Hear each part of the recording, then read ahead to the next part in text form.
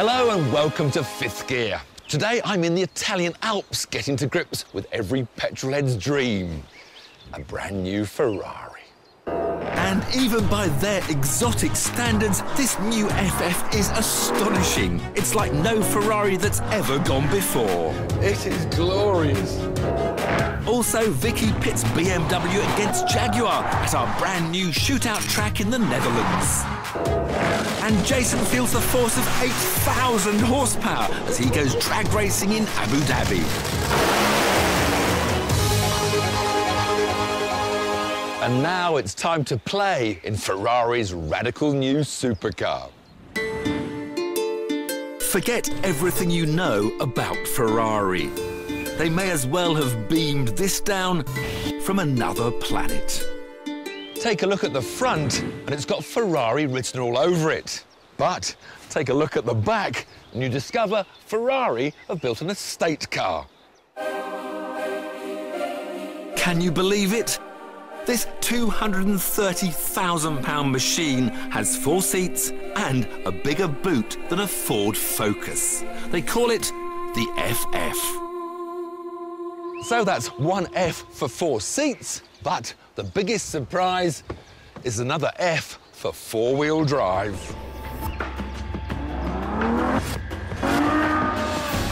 It's their first ever four-wheel drive production car and has been made simply because their customers asked for it.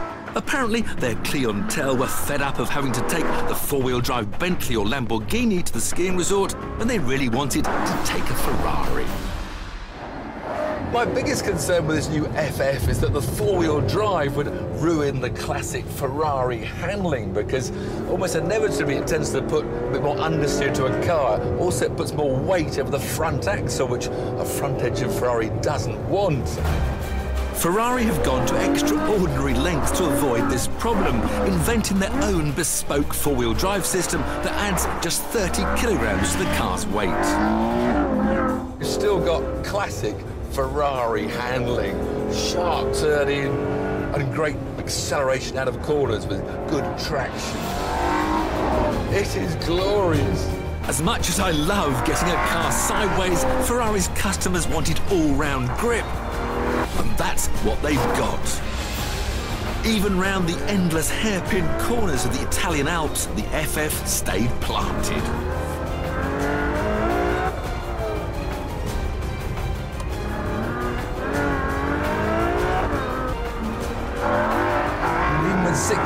Horsepower, there's enough grip to keep me out of trouble. So, on the way to the skiing resort, the FF drives impeccably. But what happens when you finally get there and the roads are covered in snow? To find out, the Ferrari was taken to the top of the mountain. Quickly.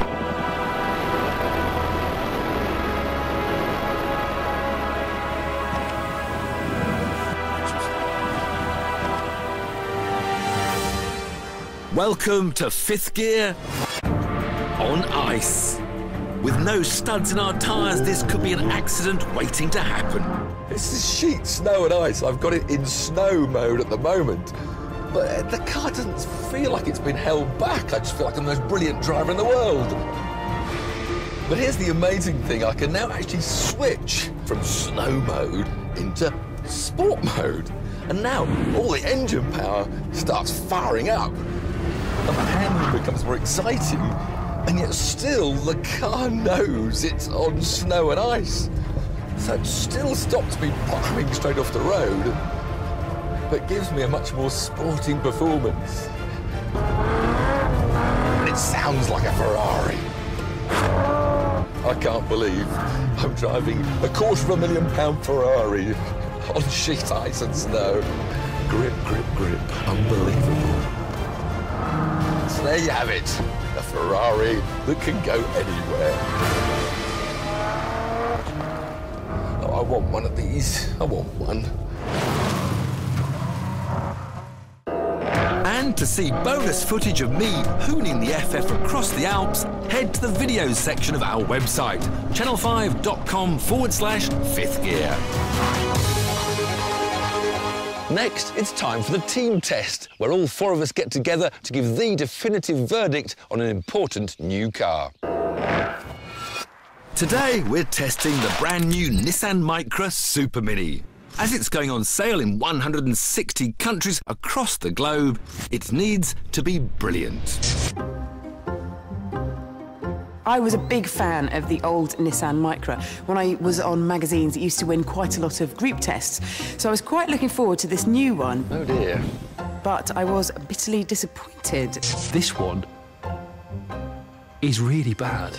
Do you know what? I've, they, I, am upset because the previous Micra was actually quite a neat little car and it was cooler than the Fiat 500. To start with, I think it looks pretty ugly. Look at the size of everything. Look at the size of the fuel filler flap. It's just a car for people with bad eyesight. It's Lego Duplo everywhere I look. it's a turd of a car. It's um, it's 12 grand's worth of nonsense. I hate it. He's done, a, he's done a Reginald Perrin. He'll help no, me sometime. We've got to drive it. No. We have to drive it. No. Inside, there were no redeeming features. You know where they've got this from? What? Fisher Price. It's just all this plastic. All this so. I, I, didn't know you were allowed grey. to make cars like this. The interior lost any little funky spark that it used to have. Look, I'm nearly on the ceiling. My seat won't go down. And how tall are you, Tiff? Six foot. Not six foot exactly, are you sure? I was six foot one and a half when I was younger. I had a go of the car earlier in the day. I like the three-cylinder engine, but the way in which you change gears with it was horrendous. Not your gearbox, it felt like I was shifting cogs with an old person's limb. Maybe it's a brilliant kind of drive. Who knows? It may be no, it'd be horrible. It'd be horrible. Whoa! Feel the power. It sounds awesome, though. I was looking forward to having a test drive with Tiff. It's nice, it's light, you feel it's airy. It is spacious. Actually, I didn't expect him to, to, to do what he did. Oh, oh,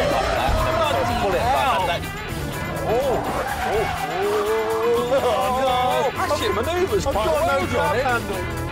Are you taking this seriously? Of course I am. And we're spinning round, we're smoking the tyres, we're smoking the clutch.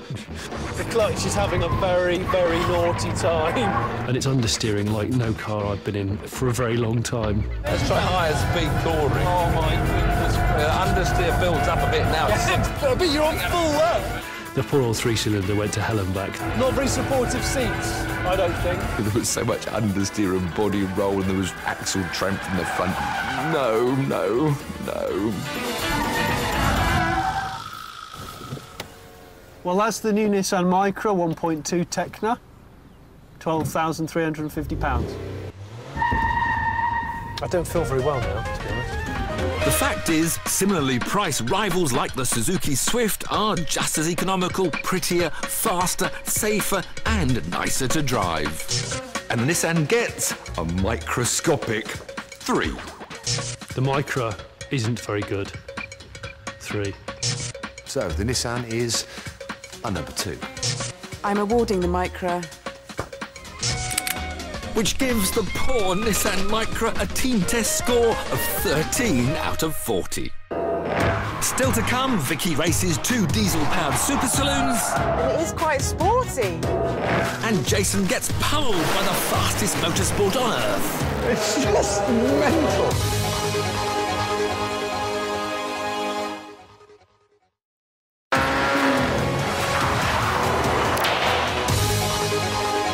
Welcome back to Fifth Gear, where it's time to hand over to Vicki for the first of this series shootouts, where we take two close rivals and race them against each other to answer the simple question, which is the quickest? And we've got ourselves a rather special new track. The TT Circuit Assen is the toughest shootout arena Fifth Gear has ever been to. This legendary Dutch track is a challenging mix of the fast and the technical. Known as the Cathedral, it normally has a congregation of 160,000 cheering fans who flocked from all over the world. Today, though, it's all ours. We're going to be testing a very modern phenomenon, the sporty diesel. BMW's 535D M Sport and Jaguar's XF Diesel S. both have performance to keep petrol heads happy, but with fuel economy only a diesel can provide. All I want to know is which is quickest. We'll start with the BMW. Oh my word. Good grief. This steering wheel is the size of a satellite dish and poorly weighted as well, actually. Oh dear me. I'd really like a lot more feedback actually through the steering. I'm feeling a bit like a chauffeur, really. There's no connection between me and the track. I'm really surprised that this car is a diesel, actually, because it's pulling nicely out of the corners and it's revving up to about 5,500 RPM. Oh, understeer. Oh, and a bit of body roll. Oh, I think I'm going to feel sick. oh, dear. But I'm not